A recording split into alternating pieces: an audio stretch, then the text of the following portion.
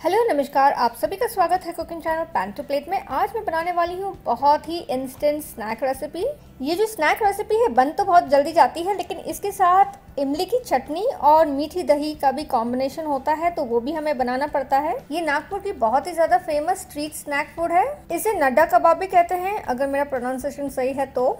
ये snack recipe बड़ों को तो पसंद आएगा ही, साथ ही साथ में बच्चों को भी बहुत ज़्यादा अच्छा लगेगा। तो चलिए, बनाना शुरू करते हैं आलू फिंगर्स हमने यहाँ पे चार मध्यम साइज़ के उबले हुए आलू लिए हैं और आलू पूरी तरह से ठंडे हो चुके हैं तो इसे हम कांटे की सहायता से मसल देंगे।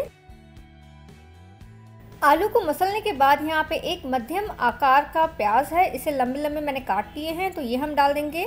आप चाहो तो यहाँ पे इसे बारीक भी काट सकते हो। एक मध्यम आकार का बारीक कटा हुआ टमाटर, इसमें बीज नहीं होना चाहिए। थोड़ा सा हरा धनिया। अब इसे हम अच्छे से मिला लेंगे। मिलाने के बाद इसमें आधा टीस्पून जीरा पाउडर डालेंगे, एक टीस्पून चाट मसाला पाउडर तो इसमें हम धनिया और पुदीना की चटनी डाल देंगे। इसमें थोड़ा सा तीखापन होना चाहिए। आधा टीस्पून नींबू का रस, थोड़ा सा हम काला नमक डालेंगे। अब सभी चीज़ों को यहाँ पे मिला लेंगे।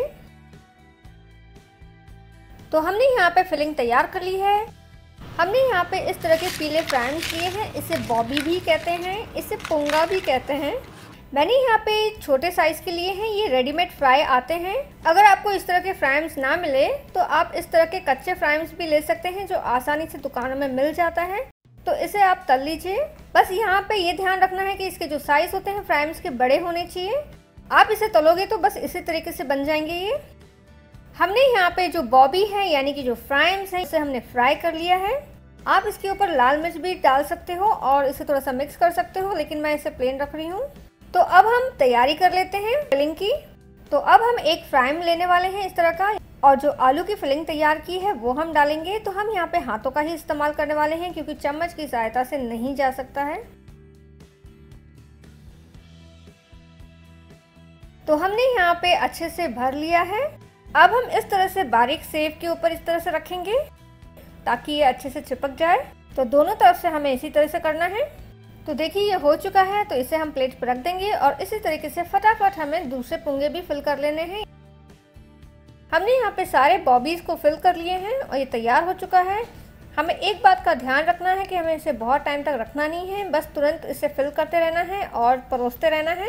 अगर इसे आप थोड़े वक्त बाहर रखोगे तो ये सॉफ्ट होने लग जाएगा, मुलायम सा होने लग जाएगा, क्योंकि आलू में नमी है और उस नमी के कारण ये जो पोंगा है, वो मुलायम से होने लग जाएँगे। तो ये इंस्टेंट टाइप की रेसिपी है। आप तुरंत बनाइए और तुरंत खाइए। हमें यहाँ पे इसे इमली और गुड़ की चटनी के साथ खाना है। साथ ही साथ में मीठी दही।